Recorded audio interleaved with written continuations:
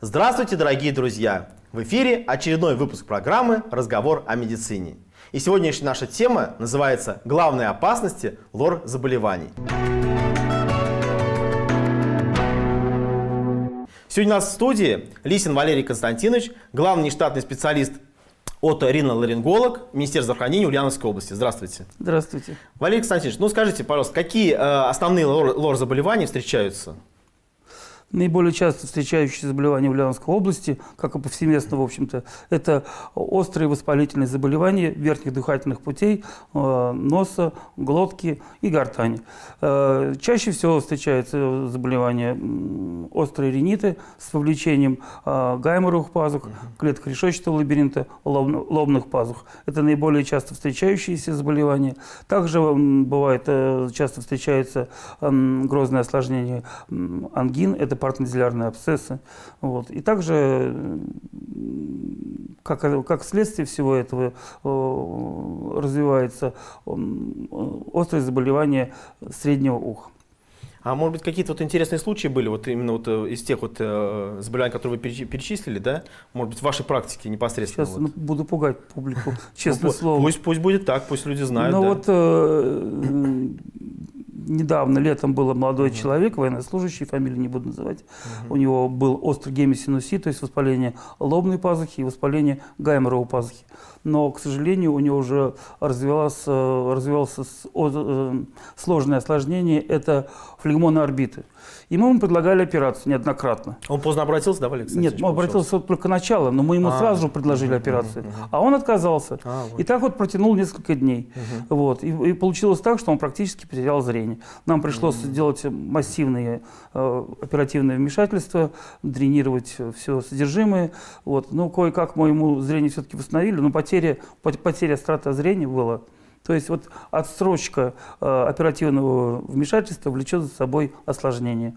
А осложнения бывают разные. Вот первое осложнение, я вам сказал, это, в общем-то, э, поражение глазного яблока. Но также может быть развиться менингит, абсцесс мозга. То есть уже мозговые Да, да, да, потому что контакт близкий идет. Вот, И с ними уже бороться гораздо сложнее.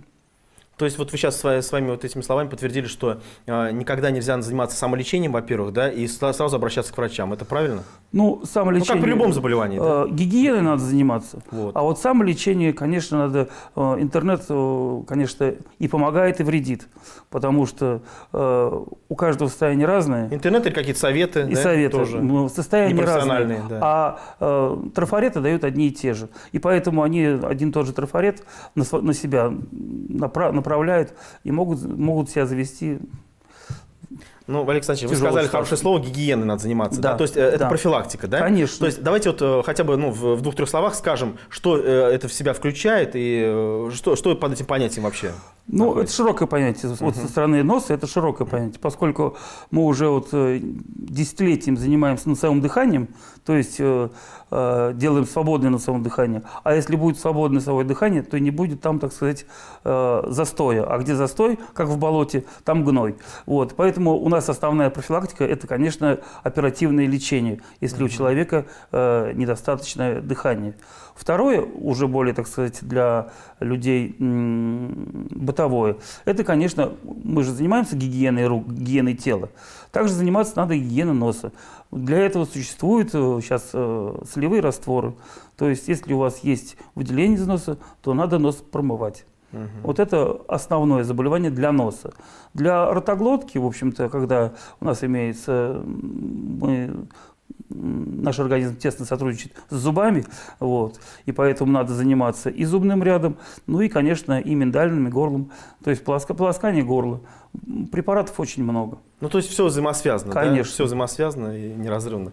А, Валерий Александрович, а вот тогда такой вопрос. А, все-таки при каких симптомах, вот что должно человека насторожить, да, чтобы он немедленно обратился все-таки к врачу? Ну, хотя бы первичного звена, да? Э, даже, ну, пусть даже сначала к терапевту, например, да, а потом уже к лор-врачу. Ну, как правило, к терапевту приходит, когда у нас э, имеется э, проявление острого, острого начала, то есть острое простудное заболевание. Ну, острый респираторный вирусная Острый, инфекция да, вот какой-то, именно ОРВИ. это. Мгм. А уже потом присоединяется гной. В редких случаях, конечно, э, сразу гнойное выделение, проис- м, то есть нагнаивается сразу же. Поэтому, конечно, нужно идти к врачу общей практики, к терапевту, вот, и уже там уже Он разберется. выяснять, выяснять, выяснять все э, обстоятельства своего заболевания. Ну, э, такой э, насущный вопрос, я думаю, телезрители э, тоже это очень интерес- интересует. По поводу вот гайморита, да, вы сказали. Э, ну, бытует такое мнение, что вот э, только прокол, да, гаймор, вот э, именно э, в области гайморовых пазух, там, да, э, помогает именно вот излечить гайморит, да, в дальнейшем. И э, ходят такие, э, как бы, ну, не байки, там, я не знаю даже, как это назвать, что э, после прокола может снова опять это все вернуться, может быть, даже еще хуже быть. Вот э, по этому поводу что вы можете сказать? Ну, еще древние говорили, где гной, там вскрой. Там вскрой. Мгм. Пещеру, как вы вскроете пещеру без, без прокола? Если дренажа, не- дренажа Да, не будет, дренажа нет. да, да. гайморовая пазуха – это, по сути, костная пещера, и ее невозможно это, открыть. А, Тут, как говорится, палка о двух концах. Не надо, как говорится, по каждому поводу ее прокалывать, но не надо запускать. Все должно быть разумно. Решает специалист. Конечно, конечно, конечно. Поэтому где гной, там вскрой. И э, те варианты, когда говорят только начал колоть, это не, неправильно, будем говорить так. Потому что здесь, если есть гной, то его надо лечить, его надо выводить. Я вам уже приводил пример, когда человек не вывел гной, он потерял глаз. Мгм. Александр Александрович, ну вот как главный специалист э, вас хочу спросить, а скажите, пожалуйста, вот а, именно вот э, если лор э, заболевания, да, есть такая категория, э, наверное, онкологии тоже, да, встречающаяся именно в, вот, э, со стороны лор органов. А, Вот в вашей практике, может быть, э, какие-то встречались тоже случаи, да, и э, вот э, что должно э, обязательно э, насторожить врача, да, и именно вот э, прибегнуть уже к каким-то кардинальным мерам, да, или направить к онкологу. Вот э, расскажите, пожалуйста, об этой части. Но в последнее время участились случаи эм, предраковых заболеваний гортани. То есть э, именно э, на голосовых складках, на наш, э, то, что влияет на наш голос, образуются предраковые опухоли, так будем говорить. Это фибропапилломы, там, папилломы и так далее, и так далее, и так далее. Это как бы предраковое состояние, вирус поражает. Вот. Но это может развиться и в более грозные осложнения. Поэтому, конечно, если у вас изменился голос, если он длительно изменился, особенно у курящих и так далее, и так далее, то нужно обратиться к врачу. И мы сейчас этими вещами очень хорошо занимаемся, уже отработано у нас. То есть мы проводим оперативное лечение, отправляем материал на гистологическое исследование. Если необходимо, гистохимический анализ у нас уже есть. То есть, чтобы подтверждение Да, было и сразу подтверждение. уже- И если все это подтверждается, Стадия. мы пытаемся поймать раку на ранней стадии, чтобы у человека сохранить голос и здоровье, и отправляем в онкодиспансер. То есть, чтобы было стопроцентное излечение. Получается, Ну, мы стараемся, конечно. стопроцентное излечение. Да. Александр Александрович, а вот еще такой вопрос а, по поводу, а, ну, очень часто а, мам, мам, да, особенно молодых, очень интересует а, по поводу детей, вот аденоиды. Вот э, что вы можете об этом сказать? Потому что ну, все считают вот аденоиды, да, вот ребенок часто болеет, простудное заболевание, и причина вот именно вот в аденоидах, да. И вот э, нужно ли их там удалять или резекцию проводить? Вот по, по- по этой теме что вы можете сказать? Ну, ребенок э, входит в наш мир незащищенный. У него нет контакта с инфекцией. Контакт с инфекцией начинается там, э, ну, активный, там 3-5 лет. И именно в это время, э, когда ребенок посещает детский сад и так далее, то есть уже когда в социальную среду входит, он контактирует с другими детьми и получает инфекцию. А плацдарм инфекции – это именно где есть лимфоидная ткань. Она есть в носоглотке, то есть это дыхание, миндалины, вот это пища так далее, так далее, так далее. И вы сейчас, наверное, по пандемии ковида поняли, что, что значит первый раз столкнуться с инфекцией. Так вот, дети с 3 до 5 лет, как правило, они вот именно первый раз сталкиваются с инфекцией. Представляете, как им тяжело? Вот. И пока иммунитет у них не выработается, это и будет так. Ну, не зря же говорят, что дети, в принципе, они даже, ну, не то, что должны болеть, да, но они болеют, и э, вырабатывается иммунитет, как раз иммунная система конечно, работает. Конечно, да. они, без этого они не могут, они не могут войти в мир, потому что если этим не заниматься, э, то в школе это будет еще сложнее. Но все-таки, вот возвращаясь к теме аденоидов, э, когда принимается решение, удалять их надо или резекцию Это только проводить? доктор. Индивидуально Это всё. Потому что, да, потому что это аденоидная, это лимфоидная ткань, а лимфоидная ткань – это защита. И ее надо убирать э, очень-очень аккуратно. То есть в организме ничего лишнего нет? э, Нет, у, у у детей аденоидит, то есть когда есть воспаление самой лимфоидной ткани. Вот с этим надо бороться. А с аденоидами они потом исчезают.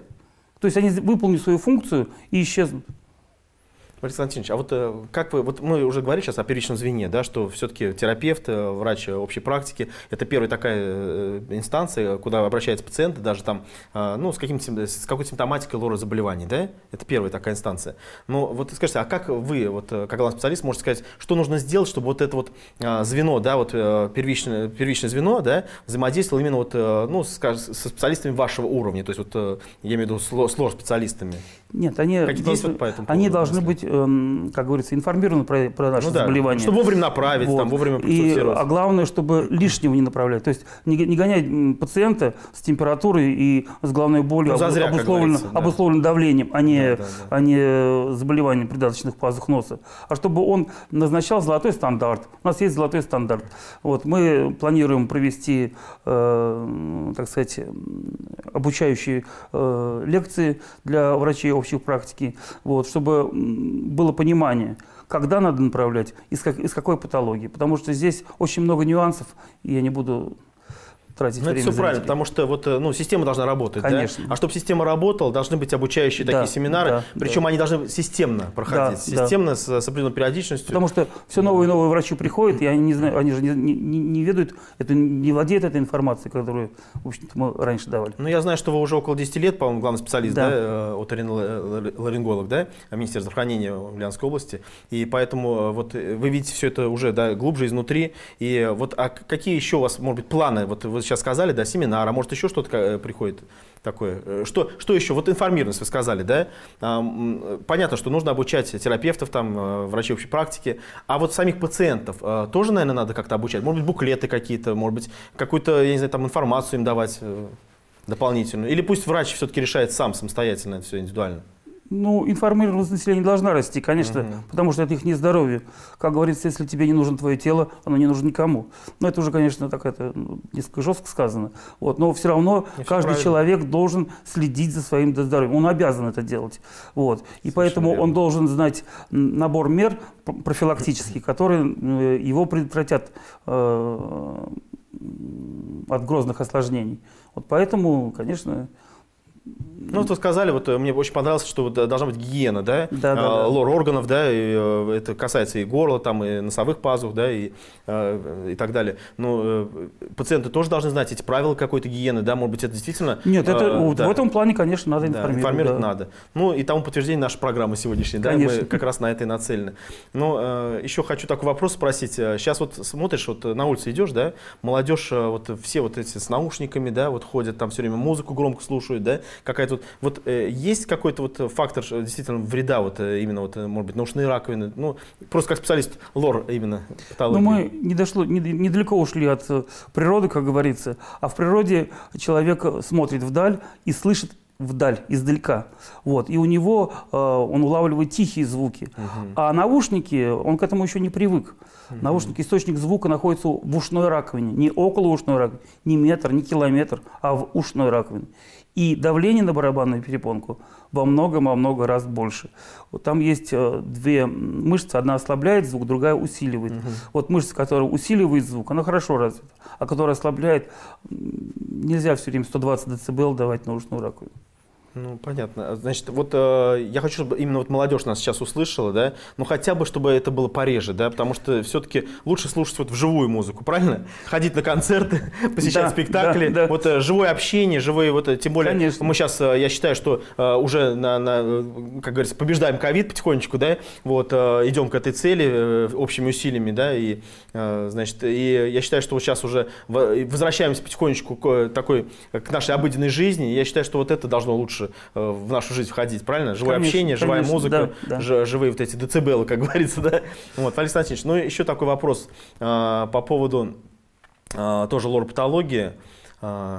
Значит, вот вы сказали заболевания, да, вот лор, э, часто встречающиеся, да, а, все-таки вот а, какими, какие заболевания, именно лор, заболевания, вы бы отнесли вот к более таким грозным а, и э, дающим часто осложнения, ну, чтобы вот пациенты тоже знали и, и медики, которые нас смотрят. Любое заболевание лорозов может, э, может осложниться и привести к катастрофе. Любое заболевание. Просто не, не, не надо запускать. Не надо запускать. Нужно вовремя обращаться к врачу. Ну, очень правильный совет.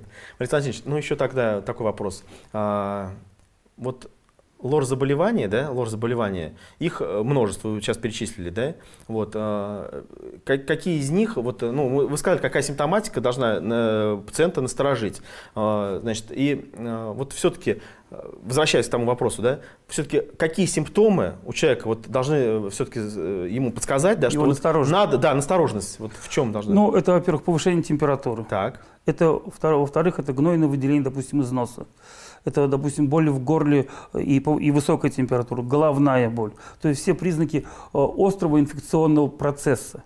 Вот острый инфекционный процесс должен пациента привести к врачу. Ну, это правильно, да. Ну, еще, Валерий Александрович, э, вот э, мы говорим, при любом хроническом заболевании, да, при любом, э, значит, вредные привычки, они, конечно, не очень хорошо влияют, да. Это и курение, и злоупотребление алкоголем, да, и низкая двигательная активность. Ну, я к ним еще отнесу, наверное, может быть, переохлаждение, там, перегревание, наверное, тоже это такой, да. Ну, если нет закаливания, конечно. Да, если нет закаливания, то есть если человек не занимается этим, то тоже этого допускать нельзя. Вот что по этому поводу скажете? Именно вот по вредным привычкам, э, насколько э, вот они провоцируют именно вот заболевания лор органов? Они снижают общий иммунитет. Все-таки вот иммунитет. А это, а это угу. если снижен иммунитет, то сопротивляемости нет. Сопротивляемости нет, да. и, и э, риск, риск, риск заболеть усиливается. Спасибо большое. Ну и в заключение нашей программы, может быть, такие обычные, такие практические советы, как от практикующего врача, от, от риноларинголога нашим телезрителям. Занимайтесь спортом, ходите в баню, и все будет хорошо. Спасибо большое. Пожалуйста. Ну что ж, вот такой интересный разговор у нас сегодня получился. Я всем желаю здоровья. До новых встреч. Ваш доктор Смирнов.